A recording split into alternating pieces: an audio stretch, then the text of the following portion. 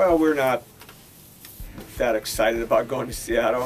I thought we'd be home, but we're not. So, uh, you know, we're going to go up there with good attitudes and try to win two matches. Uh, you know, we have to play Santa Clara first, and that's first on our mind. So, we're trying to get ready for them. A little disappointed we're not hosting. I thought we deserved it.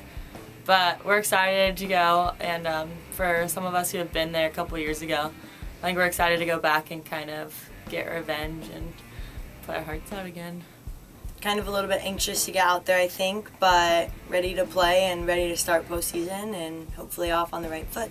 You go in uh, knowing that every team's there to do the same thing and hopefully um, I think we're all on the same page and we all know what we want to do and it's just it's, it's exciting because everyone everyone knows how important the tournament is and we all have big goals and stuff like that.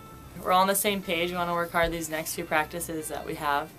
And today looked good practice. Everyone's fired up, high energy and intensity. And um, yeah, I think it's going to be a good weekend for us. Well, we've won a bunch of matches in a row.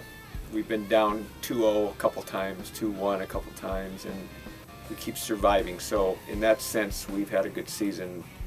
You know, 18 and 0 in the Big West. It's not easy. It's not easy to go 18 and 0 against anybody, but these teams were better.